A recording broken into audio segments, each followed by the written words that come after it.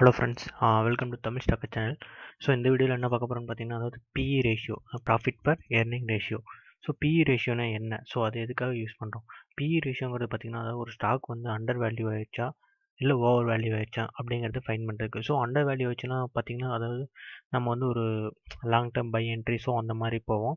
Over valued ஆச்சுன்னா அது வந்து ஷார்ட் என்ட்ரி ஸோ அப்படிங்கிற மாதிரி ஒரு அனாலிசிஸ் தான். அதாவது இது ஃபண்டமெண்டலாக one of the factor but இதை யூஸ் பண்ணும்போது நீங்கள் கூட அடிஷ்னல் பேராமீட்டர்ஸ் வேறு ஏதாவது நீங்கள் யூஸ் பண்ணிக்கணும்னு நிறைய பேர் நிறைய சஜஷன் இருக்குது ஸோ ஓகேவா ஸோ இது வந்து ஜஸ்ட் ஒரு அனாலிசிஸ் மட்டும்தான் ஓகே ஸோ பி ரேஷியோ அதை எப்படி கால்குலேட் பண்ணுறாங்கன்னு பார்த்தீங்கன்னா அதாவது market price by earning per share so இந்த ஏர்னிங் மார்க்கெட் ப்ரைஸுங்கிறது உங்களுக்கு தெரியும் லைவ் மார்க்கெட்டில் என்ன ப்ரைஸ் ரன் ஆகிட்டு இருக்குது. ஸோ ஏர்னிங் பர் ஷேருங்கிறது பார்த்தீங்கன்னா உங்களுக்கு ஆல்ரெடி எல்லா வெப்சைட்லேயும் இருக்கும். மணி கண்ட்ரோல் ஸோ அந்த மாதிரி இடி மார்க்கெட்ஸ் எல்லாத்துலேயும் வந்து பார்த்தீங்கன்னா உங்களுக்கு இபிஎஸ் இருக்கும். ஸோ அந்த market price divide by EPS வச்சு தான் நம்ம வந்து அந்த பி ரேஷியோ வந்து கால்குலேட் பண்ணுறோம் ரெண்டாவது earning yield so earning yield என்னங்கிறது பார்த்தீங்கன்னா அதாவது உங்களுக்கு வந்து எத்தனை பர்சன்டேஜ் கிடைக்குது அப்படிங்கிற மாதிரி ஒரு ஐடென்டிஃபிகேஷன் தான். ஓகேவா ஸோ அது வந்து பார்த்தீங்கன்னா அது வந்து இன்வ ஏர்னிங் சல்டுங்கிறது பார்த்தீங்கன்னா அது இன்வெர்ஸ் ஆஃப் பி ரேஷியோ அதாவது இபிஎஸ் பை மார்க்கெட் ப்ரைஸ் ஓகேவா ஸோ ஓகேவா ஸோ இது வரைக்கும் உங்களுக்கு புரிஞ்சுக்கணும்னு நினைக்கிறேன். நெக்ஸ்ட் வந்து என்னென்னு பார்த்தீங்கன்னா ஸோ அதை எப்படி கால்குலேட் பண்ணுறது அப்படிங்கிறத பார்ப்போம்.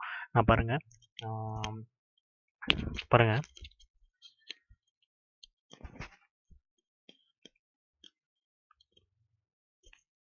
ஸோ இப்போ வந்து பார்த்தீங்கன்னா இப்போ வந்து பார்த்தீங்கன்னா நான் மார்க்கெட் ப்ரைஸ் வந்து தௌசண்ட் இருக்குது ஸோ இபிஎஸ் வந்து பார்த்தீங்கன்னா ஒரு எயிட்டி ஓகேவா ஸோ இப்போ நான் எனக்கு வந்து பிஇ ரேஷியோ வேணும். ஸோ பிஇ ரேஷியோவோட கால்குலேஷன் என்ன? Market price divide by EPS so ஓகேவா இப்போது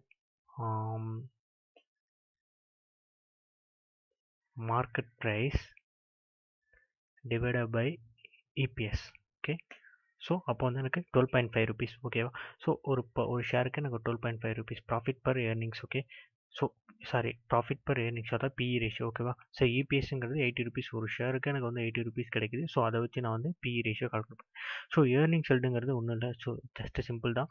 உங்களுக்கு வந்து அதாவது பாருங்கள் அதாவது EPS divide by market price that's all same தான். ஸோ அதே மாதிரி தான். அதோட அதாவது பிஇ ரேஷியோட இன்வெர்ஸ் தான் உங்களுக்கு வந்து பார்த்தீங்கன்னா ஏர்னிங் செல்டு ஓகேவா ஸோ இதுதான் இதுதான் பிஇ ரேஷியோ ஸோ இதை வச்சு தான் ஸ்டாக் வந்து அண்டர் வேல்யூ வச்சோம் ஓவர் வேல்யூ கண்டுபிடிப்பாங்க. ரெண்டாவது சரி இதை வச்சு நான் எப்படி கண்டுபிடிக்கிறது? எந்த வேல்யூ வந்தால் எப்படிங்கிறது உங்களுக்கு ஒரு டவுட் இருக்கும். ஸோ அதையும் நான் எக்ஸ்பிளைன் பண்ணுறேன் இப்போ வந்து பார்த்தீங்கன்னா ஸோ இப்போ வந்து ஃபார் எக்ஸாம்பிள் நான் ஒரு ஒரு ப்ரைஸு அதாவது ஒரு ஸ்டாக்கோட ப்ரைஸ் ஃபைவ் ஹண்ட்ரடில் இருக்குது ஸோ ஓகேவா ஸோ இதில் வந்து என்ன பண்ணணும்னு நினைக்கிறீங்கன்னா ஸோ நீங்கள் வந்து பாருங்கள் பெஞ்ச் மார்க் பெஞ்ச் மார்க்குங்கிறது என்னென்னு கேட்டிங்கன்னா அதாவது நீங்கள் வந்து ஒரு industry P average of the sector அந்த மாதிரி எடுத்துக்கணும் ஓகேவா ஸோ ஃபஸ்ட்டு எடுத்தோன்னே பார்த்தீங்கன்னா நான் எப்படி அனலைஸ் பண்ணுறேங்கிறத சொல்கிறேன் ஃபஸ்ட்டு வந்து நீங்கள் எடுத்தோன்னே ஒரு ஸ்டாக் எடுத்து அனலைஸ் பண்ணிட்டு ஓகே அப்படின்லாம் நீங்கள் என்ட்ரி ஆகக்கூடாது. நீங்கள் அந்த செக்டார் அந்த செக்டாரில் செக்டார் இருக்குது பார்த்தீங்களா அந்த செக்டாரில் இருக்கிற ஒரு நாலஞ்சு ஸ்டாக்ஸ் எடுத்துக்கணும். ஸோ அதை எடுத்துகிட்டு அடுத்தது பார்த்தீங்கன்னா அந்த பெஞ்ச் மார்க் நான் சொல்லியிருக்கேன் பார்த்தீங்களா இந்த பெஞ்ச் மார்க் வந்து பார்த்தீங்கன்னா அந்த செக்டாரோட ஆவரேஜ் பிஇ ஓகேவா ஸோ அதாவது அதை வந்து இண்டஸ்ட்ரி பின்னு சொல்லுவாங்க. இல்லைன்னா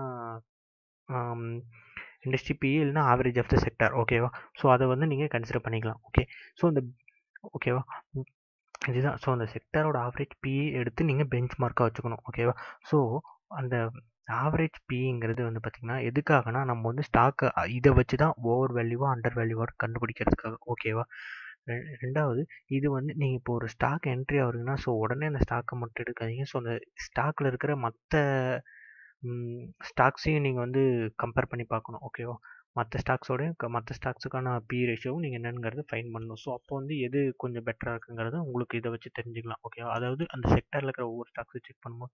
ஸோ இப்போ பாருங்கள் இது வந்து நான் பெஞ்ச் மார்க் வந்து இது வந்து நான் ஒரு எக்ஸாம்பிள் தான் பட் இதில் இது இது வந்து எந்த ஸ்டாக்கும் மென்ஷன் பண்ணுற மாதிரி இல்லை. இதில் வந்து பார்த்திங்கன்னா நான் வந்து பெஞ்ச் மார்க் வந்து இண்டஸ்ட்ரி பிஇ அதாவது செக்டார் ஒரு செக்டார் இப்போ ஒரு டெலிகாம் செக்டர் எடுத்துக்கிட்டிங்கன்னா அதோட ஆவரேஜ் பிஇ வந்து நான் பெஞ்ச் மார்க்காக எடுத்துக்கிட்டேன். ஓகேவா ஸோ இப்போ வந்து ப்ரைஸ் வந்து ஃபைவ் ஹண்ட்ரடில் ரன் ஆகிட்டுருக்கு ஸோ இப்போ ஃபைவ் ஹண்ட்ரட் ரன் ஆகும்போது எனக்கு ஃபஸ்ட்டு ஒவ்வொன்றா செக் பண்ணுவோம். ஃபைவ் ஹண்ட்ரட் ரன் ஆகும்போது இந்த இடம் பாருங்கள் அதை பாருங்கள் எனக்கு வந்து ஃபிஃப்டி ருபீஸ் கிடைக்குது. ப்ளஸ் அதாவது ஏர்னிங் செல்டு பார்த்தீங்கன்னா டென் பர்சன்டேஜ் ஓகே இது வந்து அப்புறம் பி ரேஷியோ பார்த்தீங்கன்னா டென்னில் இருக்குது ஓகே அப்போ இது வந்து எனக்கு வந்து லோ ஓகேவா ஸோ இப்போ இந்த லோங்கிறதுனால எனக்கு வந்து இது வந்து ப்ரைஸ் வந்து அண்டர் வேல்யூவில் தான் இருக்குது ஸோ அப்போ அண்டர் வேல்யூங்கிறதுனால நான் வந்து இது வந்து ஒரு நல்ல பையிங் ஆப்பர்ச்சுனிட்டி அதாவது ஹோல்ட் பண்ணி வைக்கிறதுக்கு ஒரு நல்ல ஸ்டாக்னு சொல்லலாம். ஓகேவா ரெண்டாவது அடுத்து. ஸோ அடுத்து பார்த்தீங்கன்னா ப்ரைஸ் வந்து டென் தௌசண்ட் மூவ் ஆயிடுச்சு. ஓகேவா அதாவது live market price so price வந்து சேஞ்ச் ஆகிட்டே இருக்கும். பட் இ இபிஎஸ் வந்து பார்த்தீங்கன்னா அது வந்து எப்போயாவது மட்டும்தான் மேக்ஸிமம் சேஞ்ச் ஆகிறதுக்கு சான்சஸ் இருக்குது பட் ஆனால் அந்த ப்ரைஸுக்கு தகுந்த மாதிரி இபிஎஸ் வந்து சேஞ்ச் ஆகாது.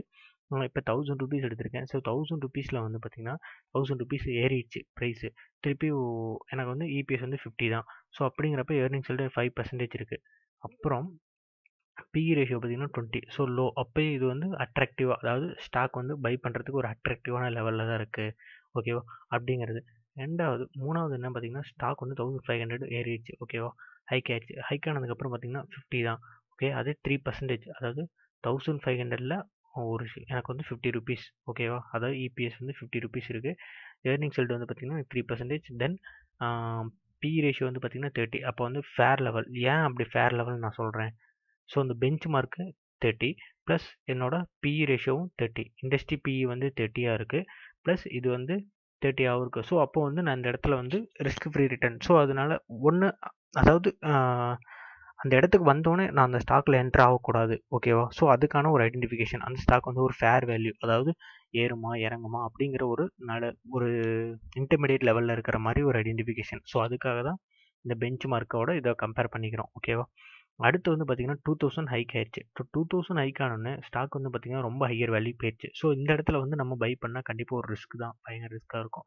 ஸோ மேக்ஸிமம் பார்த்தீங்கன்னா எல்லாருமே பார்த்தீங்கன்னா இந்த லெவல்குள்ளே இந்த ரெண்டு லெவல்குள்ளே தான் மேக்ஸிமம் பை பண்ண ஆரம்பிப்பாங்க. ஸ்டாக்கை வாங்க ஆரம்பிப்பாங்க. அதாவது ஓகே. இந்த ஸ்டாக் வந்து வாங்குறதுக்கான ஒரு ஐடென்டிஃபிகேஷன் பை பண்ணுறதுக்கான ஒரு ஐடென்டிஃபிகேஷனுங்கிறதுக்காக தான் இந்த ரெண்டு லெவல் வச்சுக்கோங்க. இந்த ஃபேரான லெவலில் வந்து மோஸ்ட்லி அவாய்ட் பண்ணுவாங்க அவாய்ட் பண்ணிடுவாங்க. ஓகேவா ஸோ இந்த ஃபேரான லெவலுங்கிறது நான் எப்படி சொல்கிறேன்னு உங்களுக்கு இன்னொரு வாட்டி நான் சொல்லிடுறேன். அதாவது நான் பெஞ்ச் மார்க்கை நான் கம்பேர் பண்ணி தான் இந்த லெவல் ஃபேருங்கிறத நான் மென்ஷன் பண்ணியிருக்கேன். ஓகேவா ஸோ இந்த பெஞ்ச் மார்க் வந்து இப்போ தேர்ட்டி தேர்ட்டினா இப்போ வந்து ஃபார் எக்ஸாம்பிள் இது வந்து தேர்ட்டி டூவாக இருந்தாலும் நான் இந்த ஸோ ஓகே இந்த தேர்ட்டி டூவாக இருந்தாலும் ப்ளஸ் நான் இந்த லெவல் வந்து ஃபேர் லெவல் தான். ஏன்னா ஓகேவா ஏன்னா எபோவ் தேர்ட்டியில் தான் இருக்குது ஓகே ஸோ அப்படிங்கிறப்ப இந்த லெவல் வந்து இந்த இடம் வந்தோடனே நான் எக்ஸிட் ஆகிற மாதிரி ஓகே எக்ஸிட் ஆகிற மாதிரி இல்லைனா ட்ரெண்டுக்கு தகுந்த மாதிரி நம்ம ஸ்டாப் லாஸ் அந்த மாதிரி எதுவும் சேஞ்ச் பண்ணி வச்சுக்கிறது ஓகேவா ரெண்டாவது இது வந்து டூ தௌசண்ட் ஹைக் ஆயிடுச்சு ப்ரைஸு ஆனால் earning per share fifty earning side வந்து பார்த்திங்கன்னா த்ரீ பர்சன்டேஜ் தான் இருக்குது பி ரேஷியோ வந்து ஃபார்ட்டி பட் ஹை ஹை அதாவது ரொம்ப ஹை வேல்யூஷனில் இருக்க ஸ்டாக்கோட இது வந்து ஸோ அப்போ வந்து அந்த இடத்துல வந்து நமக்கு வந்து அவ்வளோக்கா ப்ராஃபிட் கிடைக்குன்னு சொல்ல முடியாது. ஒரு ரிஸ்க்குன்னு தான் சொல்லணும் ஓகேவா ஸோ இந்த ரெண்டு லெவல் மட்டும்தான் ஒரு நமக்கு ரிஸ்க் இல்லாத லெவல்னு சொல்லி ஓகே இந்த இடத்துல ஒரு நல்ல ப்ராஃபிட் புக் பண்ணலாம் அப்படிங்கிற மாதிரி ஒரு ஐடென்டிஃபிகேஷனுக்காக தான் ஓகேவா ஸோ அதுதான். ஃபஸ்ட்டு வந்து பெஞ்ச் மார்க் நீங்கள் வந்து industry P so benchmark எப்படி இருக்குன்னு பார்த்தீங்கன்னா நான் ஒன்றும் இல்லை.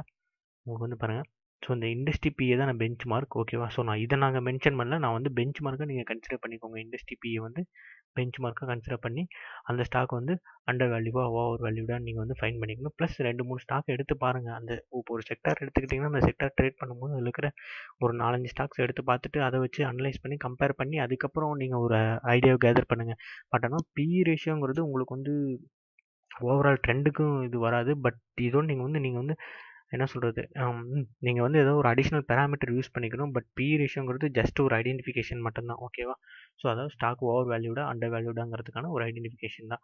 ஸோ இந்த வீடியோ பிடிச்சது இந்த வீடியோ புரிஞ்சிருந்தா சொல்லுங்கள் அப்படி புரியலாம் கீழே கமெண்ட் பண்ணுங்கள் நான் உங்களுக்கு அதுக்கு ரிப்ளை பண்ணுறேன் அப்படி இல்லைன்னா உங்களுக்கு இதை பற்றின டவுட் இருந்தாலும் சொல்லுங்கள் நான் கண்டிப்பாக அதை மென்ஷன் பண்ணிக்கிறேன். ஸோ ஓகேவா ஸோ பெஞ்ச் மார்க் இதுதான். ஓகே தென் பி ரேஷியோ இதான் P ரேஷியோங்கிறது market price divide by EPS earning செல்டுங்கிறது அதாவது எத்தனை பர்சன்டேஜ் ஏர்ன் பண்ணுறோங்கிறதுக்கான ஒரு இதுதான். அதை வந்து அது வந்து பார்த்தீங்கன்னா இன்வர்ஸ் ஆஃப் பி ரேஷியோ ஓகேவா அதாவது EPS divide by market price okay அவ்வளோதான் சிம்பிள் தான். ஸோ ரொம்ப டீப்பாக லேர்ன் பண்ணாதீங்க. ரொம்ப டீப்பாக இதில் லேர்ன் பண்ணுறதுக்கு ஒன்றும் இல்லை. இதான் சிம்பிள் தான். சிம்பிளாகவே வச்சுக்கோங்க. தென் வந்து இது பார்த்தீங்கன்னா ஒரு பெஞ்ச் மார்க்கோட கம்பேர் பண்ணி நீங்கள் வந்து ஸ்டாக் வந்து ஹையர் வேல்யூவாக லோயர் லோயர் வேல்யூவாக இருக்குங்கிறத நீங்கள் ஐடென்டிஃபை பண்ணிக்கணும். ஸோ அந்த பெஞ்ச் மார்க்குங்கிறது ஒன்றும் இல்லை அது இண்டஸ்ட்ரி பிஇ ஓகே ஸோ இதுதான் ஓவரால் பிஇ ரேஷியோ வச்சு நீங்கள் ஃபைன் பண்ணுறதுக்கான ஒரு identification okay okay thank you so இந்த வீடியோ பிடிச்சிருந்தா லைக் பண்ணுங்கள் ஷேர் பண்ணுங்கள் ஓகே தேங்க்யூ பாய்